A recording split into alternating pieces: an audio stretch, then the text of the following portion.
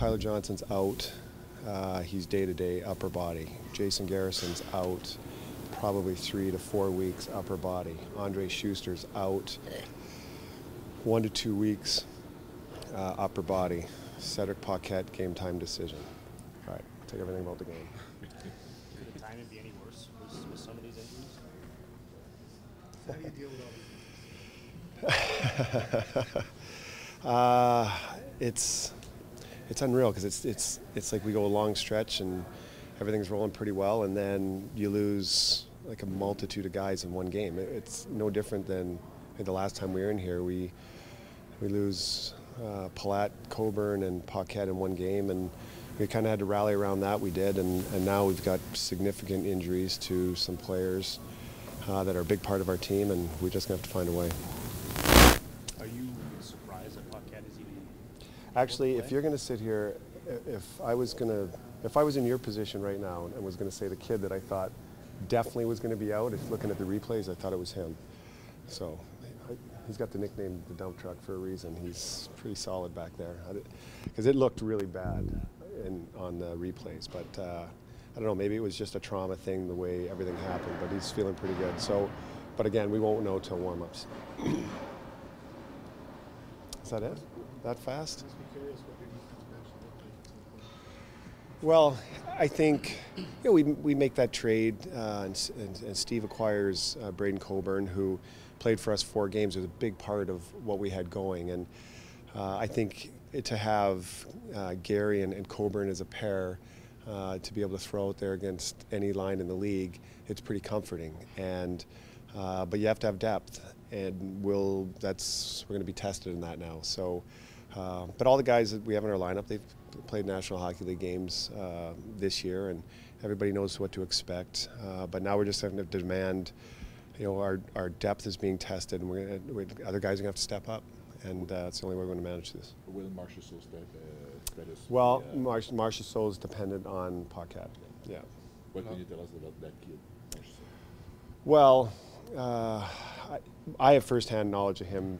I coached against him in the minors, and when he was in Hartford, and I know when you circle the other team, their go-to guys, he was one of the guys who definitely circled. That kid's got a great nose for the net. Uh, even watching him at the end here, the drills he's doing against Vasilevskiy, he was tucking them in everywhere. Uh, he plays hard, he plays with passion, and uh, it was a great acquisition for us because he's really been a staple in the American League for us. We've just had numbers up here, and so haven't had the opportunity since earlier to bring them up. But you know, they might be in a situation now, just because of the call-up rules, you can't really, you can't afford to just bring guys up and then play them. It's on emergency basis, but we're getting pretty darn close to an emergency, so uh, he might see some action. A lot of work on the power play this morning. Mhm. Uh, obviously, you have a lot of talent in the ice. What, what would you like to see from to to adjust and get some some results on a regular basis? Well, I think when you dissect a game and you go 0 for 4 or 0 for 6, uh, you're scratching your head asking why. And I think, would it have mattered in the Detroit game? I don't know. Uh, definitely in the Na- Nashville game, well, we needed one, and we, we get points out of that game.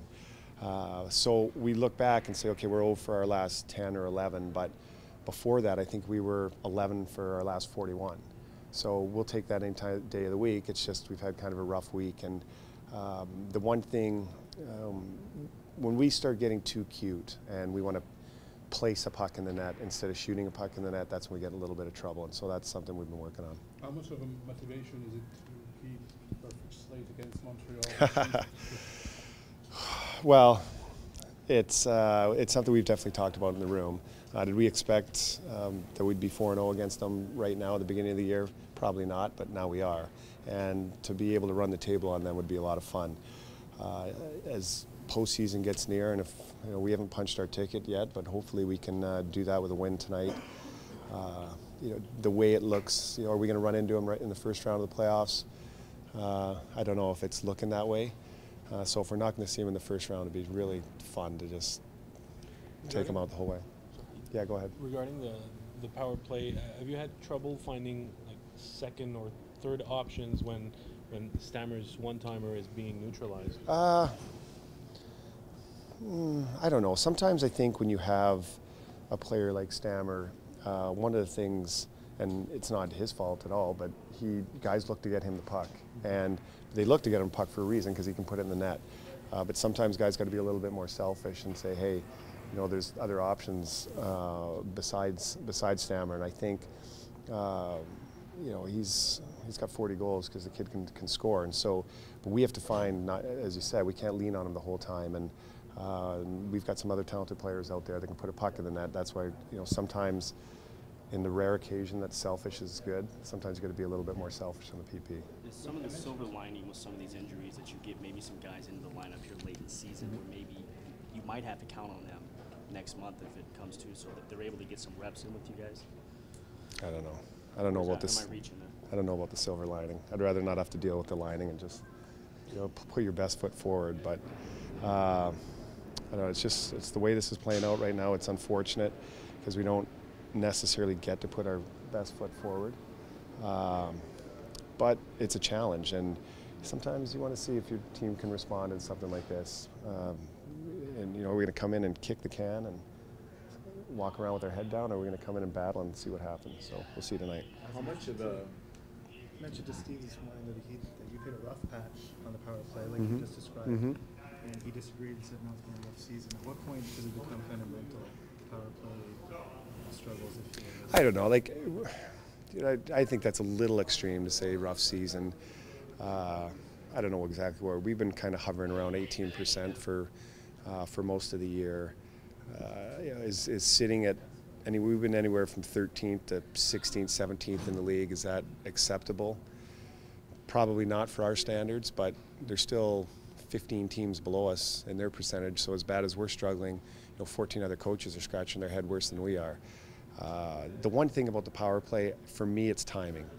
And you know, you have to click at 25% all year long. I don't think so. But when you need that big goal, that's when it comes. When you need to be in their zone for the full two minutes, not necessarily score, but make sure momentum is on your side, that's what has to happen. And sometimes that's what power play can do: is swing momentum even when you don't score. And uh, sometimes we've done that. Of late, we haven't, and I think that's where guys get a little frustrated.